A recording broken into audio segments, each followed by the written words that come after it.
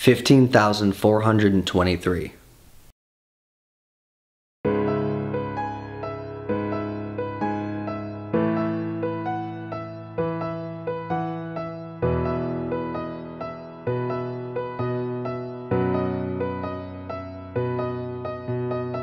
That is the number of people diagnosed with HIV in Florida from the year 2010 to 2012.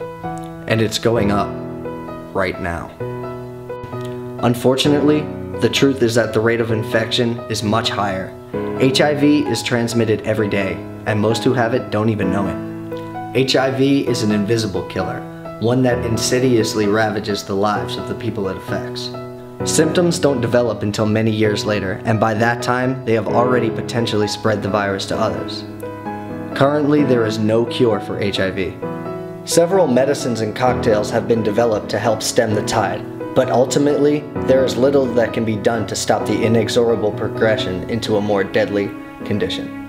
Autoimmune deficiency syndrome, or AIDS, is the devastating end stage life cycle of the HIV virus. AIDS is also incurable and ultimately claims the lives of those it affects. Currently, more than 1.1 million people in the United States are living with HIV. In 2011 alone, 49,273 individuals were diagnosed. I'm Dr. Hector Quiñones. I am currently a professor here in health education um, and in fact, um, HIV/AIDS um, has been part of my expertise since I became a um, health educator in Puerto Rico, where I worked with the STD control program for about five years. Do you think we as a country could be doing more to educate people of HIV and its transmission? Oh, definitely yes. The problem with that is that the HIV um, education it's linked to the sexual education in general, and sex education in general is linked to the value system in a particular community. So, for example, in the conservative areas of the United States, um, the government is not even allowed to to do certain uh, sex education um, projects, while in the most liberal areas of the United States, then they can be more comprehensive. Okay. So then, um, depending on the value system of the of the community, then there's more sex ed, more HIV sex education, or less.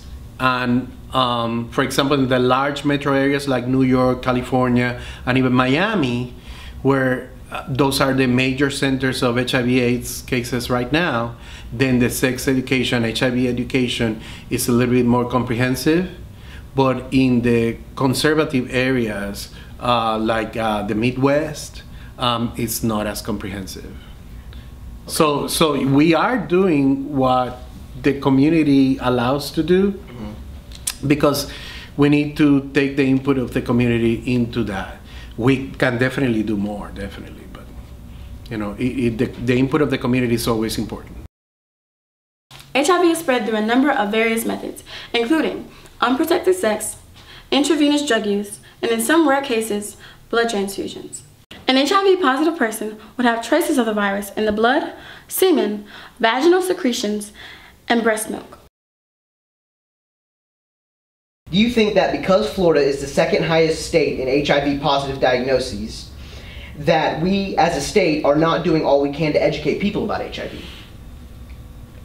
Could be, but I wouldn't say education is the only reason. It could be lack of access to healthcare. It could be that certain subpopulations or even subcultures within Florida, since Florida is so diverse, are harder to reach than in other states. Like, for example, here we have some people who do not speak English. And in Florida in general, we have a lot of bi- bilingual education of all sorts, including sex ed and HIV.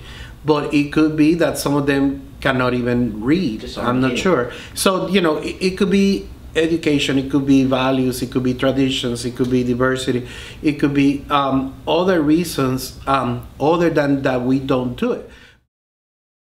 One proposed method is needle programs. Government regulation would allow clean, free needles to those who need them. Currently, Florida does not have a needle distribution program.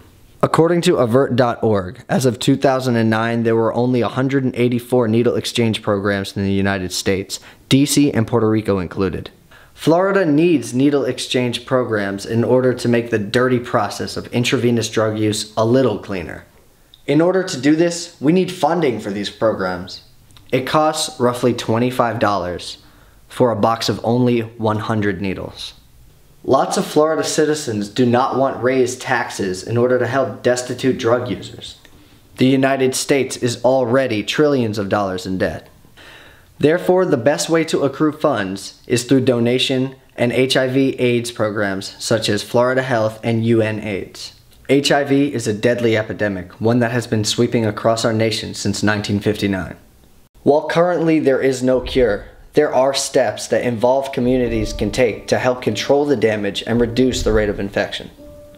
No one wants to see their son or daughter sick, and ultimately, it is up to us to create a brighter future for everyone.